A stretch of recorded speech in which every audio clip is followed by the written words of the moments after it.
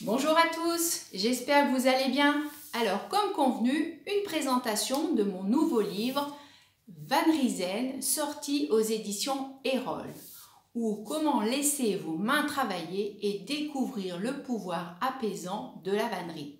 Voilà tout un programme pour ce nouveau livre.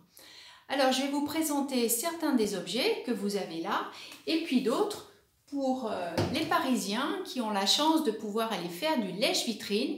Je les invite à aller découvrir donc certains des objets qui sont dans la vitrine Erol à Paris. En attendant, pour tous les autres, une belle présentation de ces objets.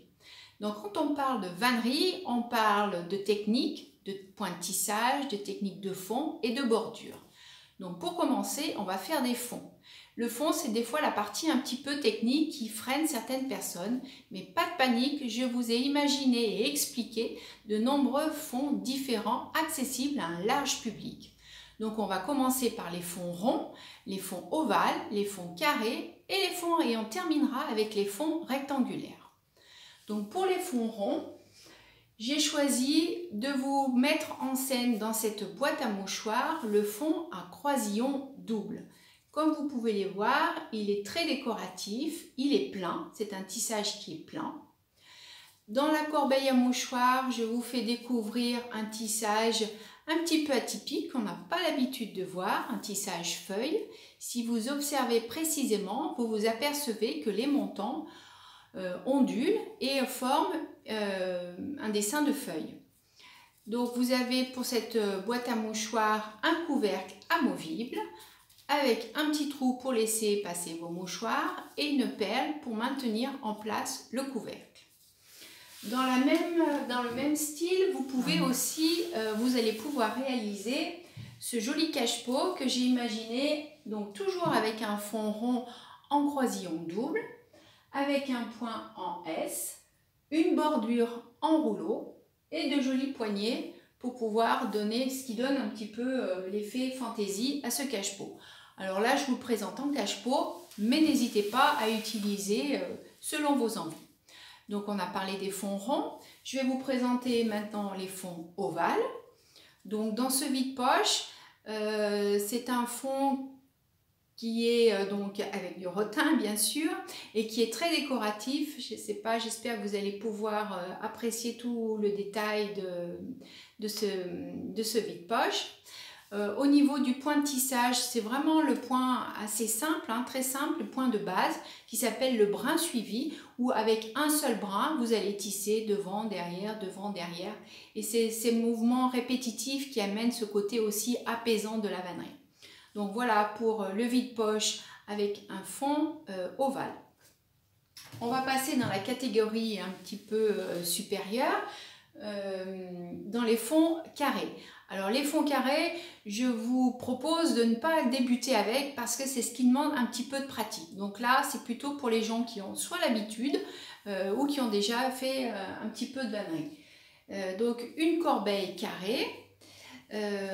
Donc on peut, voilà, je vous présente cette technique qui demande voilà, de la pratique parce qu'il va falloir gérer les angles et comme vous allez utiliser une fibre ronde, et eh bien votre vannerie aura automatiquement euh, envie d'être ronde alors que vous, vous voulez que ce soit carré.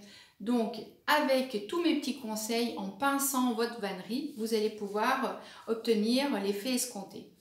Donc, euh, petite corbeille carrée pour les serviettes d'invités ou pour ranger aussi tous les petits trésors de vos enfants. Et ensuite, dans cette corbeille rectangulaire, alors là, vraiment, c'est une corbeille que, euh, que je vous explique à la fin du livre, puisqu'il demande donc euh, plus de pratique. Donc c'est la même technique que la corbeille avec, en tous les cas, au niveau du fond, c'est le même technique de fond. Cette fois, vous allez le faire rectangulaire, donc un petit peu plus long. Euh, vous allez euh, pouvoir aussi, comme dans beaucoup de mes réalisations, découvrir cette bordure en rouleau, qui est une bordure euh, qui se prête extrêmement bien au rotin, qui ne demande pas beaucoup de pratique, a un très joli effet. Et puis vous allez me dire, mais c'est quoi ces deux paniers qui sont derrière?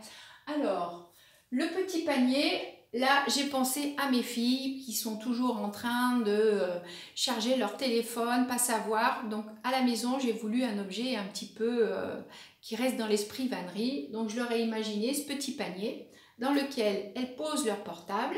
Avec cette grande anse, elles le fixent à leur euh, prise électrique. Et pendant toute la nuit, le petit portable est bien installé pour se télécharger, pour charger, pour charger toute la nuit. Donc ça, c'est le premier, petit panier. Et le deuxième panier, donc un panier mural, euh, celui-ci, j'ai voulu mettre en scène une décoration que l'on trouve dans certaines vanneries qui s'appelle une galerie. Donc en fait, c'est un brin de rotin que je viens glisser dans, le tissage du panier pour obtenir euh, cet effet euh, très décoratif. Donc ce n'est pas très compliqué. Euh, c'est abordable aux gens qui ont déjà fait un ou deux objets et vous allez pouvoir euh, amener de la fantaisie euh, dans votre panier.